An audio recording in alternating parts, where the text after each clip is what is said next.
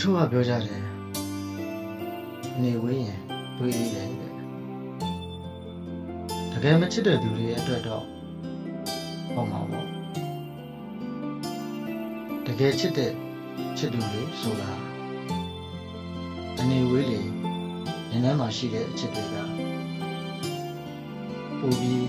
ခိုင်မြဲလေဆိုတာလူတို့မှမသိကြတာ